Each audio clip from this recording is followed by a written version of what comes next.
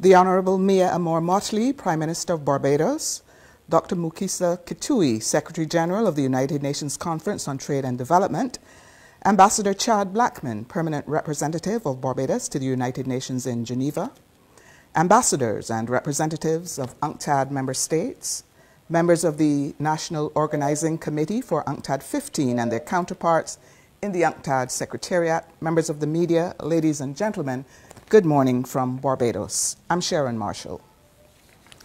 There have been many developments since we last gathered on August 4th to sign the host country agreement signaling the commitment of the government of Barbados to host the 15th quadrennial conference of UNCTAD. Some of those developments have had an impact on planning for the conference, chief among them the COVID 19 pandemic. This morning, Prime Minister Mottley and Secretary General Kituyi will update you on preparations for UNCTAD 15. I now invite Dr. Kituyi to address you.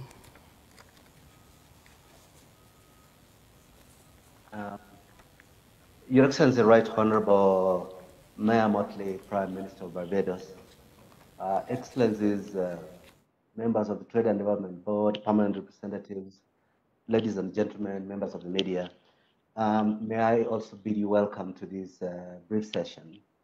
I want to take the opportunity first and foremost to express appreciation of the Secretariat of UNCTAD to Your Excellency, Prime Minister Mottley, for your commitment and availability when you have had a lot of challenges to deal with in uh, what aptly can only be known as an annus horribilis, uh, but that you have had uh, taken time off to engage us and see how we progress on our promise to host a successful UNCTAD 15 conference. Over the past few months, we've been engaging driven by a shared vision. Importantly, that the 15th UNCTAD conference must be an in-person conference. Among other things, to guarantee the presence of high-level leaders with the political will and gravitas to make definitive, substantive decisions that will shape international discourse on how to recover better out of the pandemic that we confront today. I want to express our appreciation by the singular commitment to this principle that you and your government have shown during our deliberations. As mentioned by Sharon Marshall, our teams have been working together. I want to express my appreciation on behalf of the Secretariat of UNCTAD for the patience, engagement, and willingness to go the extra mile that has been displayed by the team both at headquarters and your team in Geneva led by the very able and friendly Ambassador Chad Blackman, uh, which has been very, very helpful as we all try to ride out very uncertain times and try to fulfill our obligations to member states and to the promise we made to the people and government of Barbados to be true partners and deliver a successful conference. During the period since we last had a joint event in early uh, August to sign the host country agreement, we at the UNCTAD Secretariat have had to do the necessary, bringing the different agencies of the UN family as, as procedurally expected of us to assess the state of play in the preparations for the conference, the assessment of uh, UN standards on health of uh, citizens of the host country, traveling participants and delegates, and the, the, engagement on the key issues that are emerging from such conversation with the, the host government. And this morning, I addressed the opening session of the preparatory committee, the negotiations of the outcome document for UNCTAD 15. And in addressing them, I mentioned that uh, you, Prime Minister, and I were going to have an ultimate meeting today at which we'll share with the world the outcome of the multiple consultations we've been having between your capital and Geneva, but also the UN in New York. And it's now my pleasure not only to thank you for your patience and your leadership, but now to invite you and share with the member states online and the media around the world the steps that we've been taking and the decision that we have jointly made. Thank you very much for your attention. Thank you. Thank you, Dr. Kituyi. Prime Minister? Thank you very much, Sharon. Um, Secretary General Kituyi, my brother, I'm pleased to be able to meet with you again, if only virtually, and regrettably for reasons that we both hoped could have been avoided. I also welcome today's opportunity to speak directly to member states, UNCTAD Secretariat officials, and indeed the media, but also to the people of Barbados.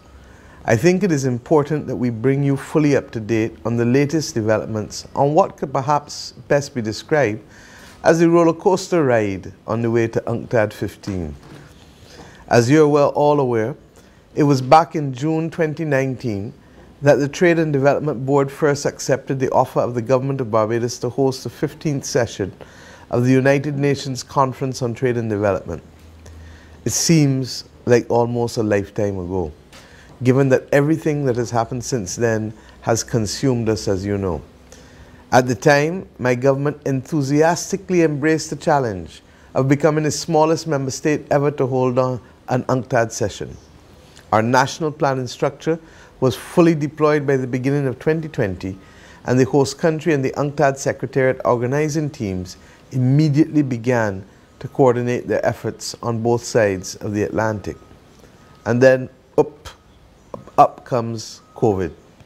By March, we were all in various stages of lockdown, and by April, as you recall, Secretary General, you and I consulted and we accepted the disappointing reality that it would be impossible to proceed as normal.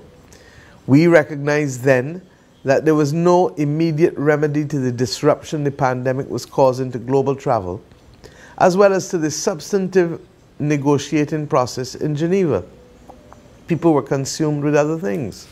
Accordingly, on April 24th, we jointly announced that UNCTAD 15 could no longer take place from October 18th to 23rd, 2020, as had been originally scheduled. We were, however, hopeful that by the end of this summer, the pandemic would begin to recede. And so, after careful consideration and consultation between ourselves and the UNCTAD membership, we agreed to reschedule to the new dates of the 25th to the 30th of April. On August 5th, when we announced the rescheduled timing, I told you that we remain positive that by next year the determined efforts of world scientists and the prudent precautionary measures we were putting in place would help to make the convening of UNCTAD 15 a reality. We were certainly not wrong about the determined efforts of world scientists whose progress on the development, testing, and delivery of the vaccines has been nothing short of phenomenal. We were, however, perhaps a little too optimistic about exactly when in 2021 a COVID safe global environment would emerge. We were certainly in no position at that stage to foresee the virulence of the second wave of infections that would sweep through Europe and North America as winter approached. We see it before our very eyes on a daily basis. Still, we at the Barbados End did not lose faith, and we continued to project and to have contingency plans for the April date, waiting for a silver lining to emerge from the clouds. Our reality as a small tropical island with limited ports of entry has been far different from what many others have been facing. The overwhelming majority of our population, thankfully, and I thank Barbadians again, have heeded to the COVID 19 protocols to wear masks and to sanitize, as well as to social distance. As a consequence, the country has managed to remain out of lockdown since the 15th of June of this year. I thank the disciplined and responsible attitude of Barbadians, and I thank the diligent monitoring and, and those who have gone way beyond the call of duty in our health sector and our border authorities. There has been to date, as a result, no community spread within our country. Indeed, the handful of imported cases that are registered every week are rapidly detected through mandatory testing, particularly our second test and our quarantine facilities, and immediately, if necessary, placed into isolation at designated facilities. We were therefore confident that once we continued the strict enforcement of our protocols, Barbados could create a secure biosphere from airport to hotels and ultimately to the conference venues. This would have allowed us to host UNCTAD 15 in a manner that would have minimized the risk to the health and safety of visiting delegates and indeed to Barbadians alike. We immediately set out to explore a range of innovative possibilities with our tourism and our health officials with this objective in mind. Yet, despite our best efforts, the second wave of COVID 19 infections has grown more intense and more deadly in hotspots across the globe. It became increasingly apparent that, however safe we believe Barbados to be, and however much effort we put into keeping it so, as we are doing, this could not of itself motivate participants to travel to our country in the numbers to transact the important business of UNCTAD 15 in a meaningful way. That is, through fully participatory in person sessions, face to face. Nor could we, simply by wishful thinking, counteract the apparent deficit in the substantive preparatory process at the Geneva end, where progress has been severely impacted by the continual lockdowns and by the difficulties of pursuing intense negotiations in six languages across a virtual platform. We need to have taken that into account. We all accept that for UNCTAD 15 to be successful, it must have strong levels of in person attendance in Barbados and equally strong policy proposals that would form the basis for deliberation and action by our ministers. At this juncture, we have regrettably concluded that neither can be guaranteed in time for April 2021. We have recently also been advised of a crucial fact that is beyond the control of the host country, namely, that if UNCTAD 15 is convened in April 2021 in the manner and the scope originally planned, it would be categorized as high risk by the Occupational Safety and Health Office of the United Nations. We have been assured that this classification is in no way determined by the COVID 19 profile of Barbados, but rather by the possible dangers posed to the local population, the incoming participants, and the UNCTAD staff from the influx of several thousand participants from multiple locations across the globe. This means, in effect, that we could only proceed under UN guidelines which would reduce permitted physical attendance at the conference to such low numbers and such low levels as to seriously compromise its viability and its ultimate success. Given this unfortunate reality, the Secretary General and I have come to the difficult conclusion that we have no choice but to seek a further postponement of UNCTAD 15.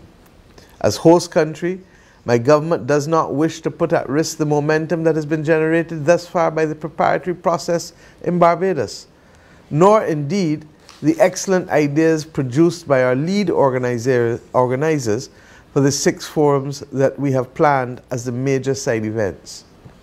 We especially do not wish to dampen the enthusiasm and investment and involvement and investment of the people of Barbados in this important endeavor. At the same time, however, we are agreed, all of us, that we cannot plan effectively in an environment of uncertainty. The new dates we select should therefore be in a time frame that we can reasonably expect to be COVID safe based on the best available expert projections today for the uptake of vaccines over the coming months. With these considerations in mind, my friends, and after a review of the crowded calendar of international meetings now scheduled or indeed rescheduled for 2021, the Secretary General and I have agreed to propose that UNCTAD 15 should now take place in Barbados from Sunday, October 3rd to Friday, October 8th, 2021, with pre events starting from Friday, October 1st.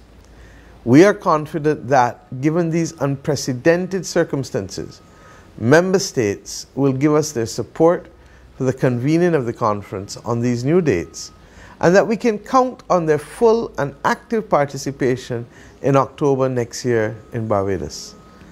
My country remains fully committed to fulfilling its responsibilities as the host country of UNCTAD 15.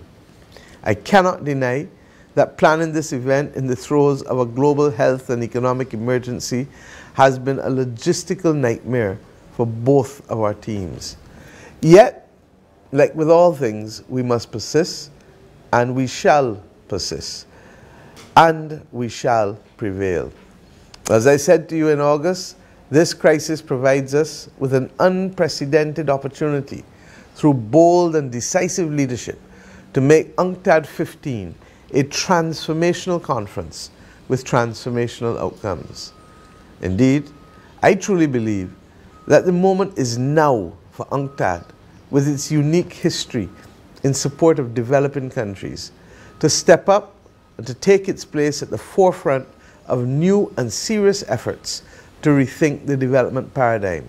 I've been speaking about it for the better part of the last year. Now is the time for radical transformation of the decades old assumptions that have hitherto underpinned the international economic order. An order that, as I've said before, persists more to perpetuate inequalities than to serve the critical needs of too many of us across the global community. Institutions that existed now that when they were formed, our countries did not even exist in many instances. And therefore, the reality and perspective that we must reflect upon as we move beyond the third decade of the 21st century has to literally reflect our circumstances, our needs, and our deep concern about the unjust inequalities that grip our world today. We believe that moral and ethical leadership must matter and that we must work together. And if we can work together in the vein of moral and ethical leadership as committed leaders, then I truly believe that we can be the difference that the world is crying out for at this stage. I thank you all and I look forward to engaging with you soon again on the road to Barbados in October 2021. We shall make it and we shall get there. Thank you. Thank you very much, Prime Minister, and thank you, Dr. Kituyi. I don't know if you wish to make any concluding remarks. I will give you that opportunity now. No, we're, well, thank you so much, both lady and gentlemen. Ladies and gentlemen, this brings our brief program to a close. We thank you all for participating and wish you a good day. We also wish you all the very best for the holiday season. We see you in Barbados next year.